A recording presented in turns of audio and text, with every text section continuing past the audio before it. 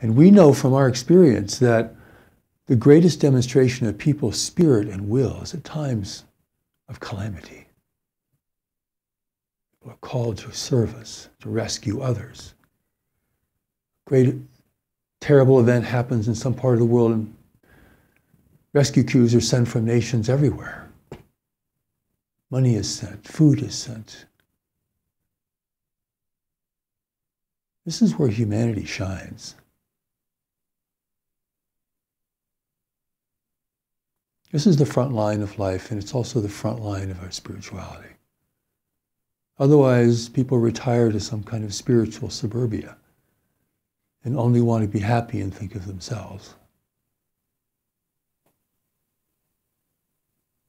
There's no life there, there's no inspiration there. So now life has brought us to this great threshold. How will we respond?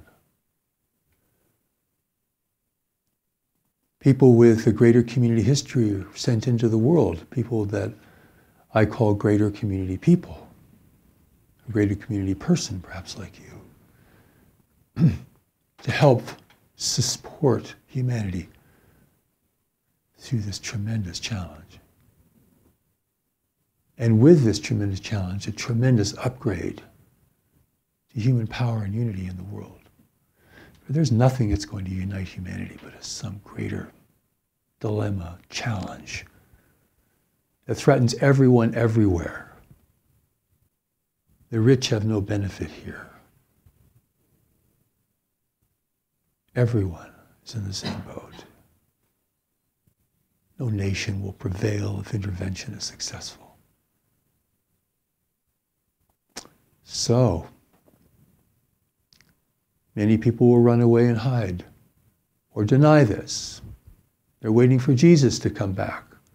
Or they're going to enlighten themselves in the pathway of Hinduism or Buddhism. Or they're going to become politically engaged.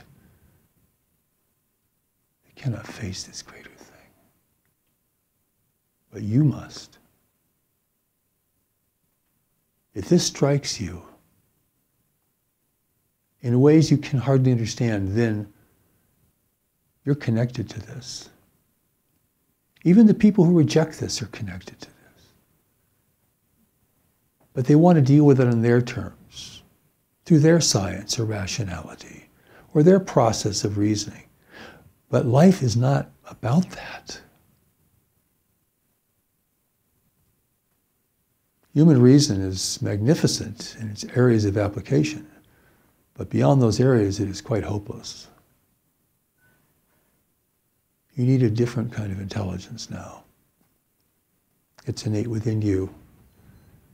And that is what our vigil is really about, is this deeper intelligence within you, which isn't there just to make you happy and comfortable, but to engage you in life in a way that really fulfills you, inspires you, gives you strength, gives you certainty, gets you out of self-degradation self-conflict, gets you out of a meandering haphazard life.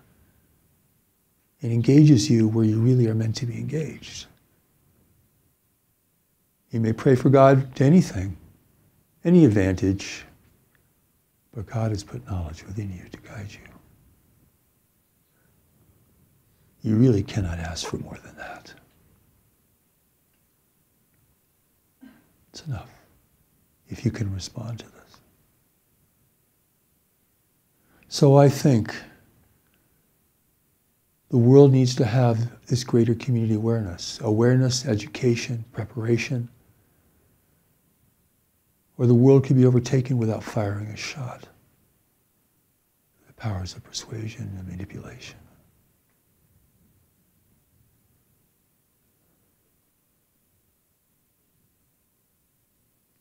Some people become hopeless immediately. Without hope, they become hopeless.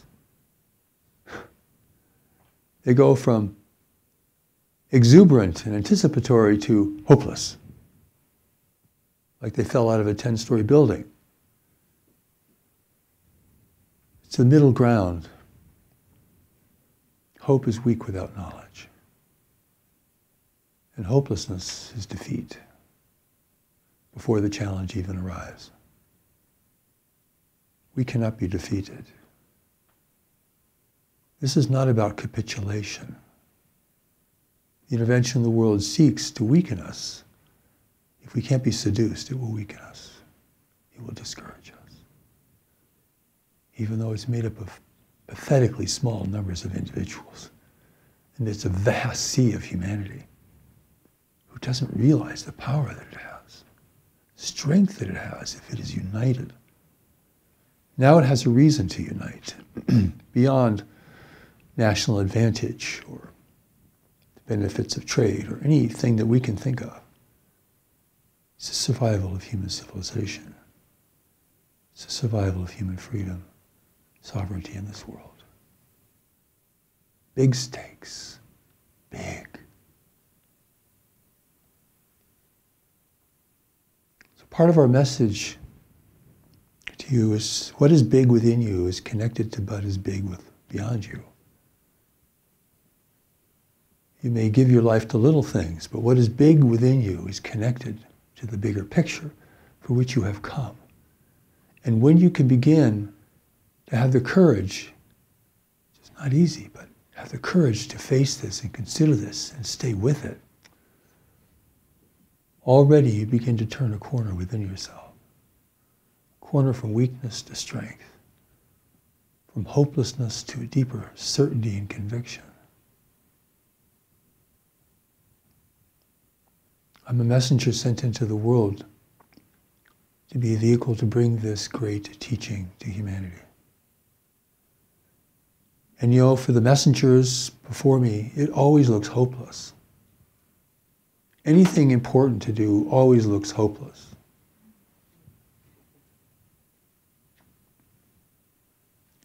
But our strength comes not from hope alone, but from a deeper conviction.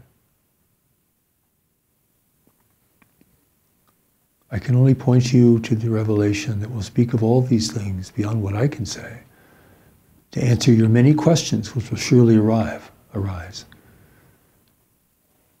which will strengthen you, give you courage, determination, acknowledging the fear and uncertainty that exists, yes, but to show you where your certainty really resides and how to find it, to take the steps to that deeper knowledge within you. This is how God will give you strength and courage. It's an invisible gift that serves us even when we don't want it.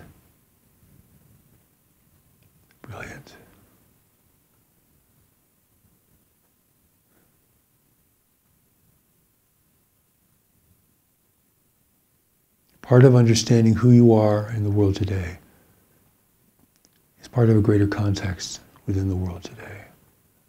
The great environmental change that is coming, the great ways of change, our encounter with the universe of intelligent life, the growing urgency for human cooperation, cessation of conflict.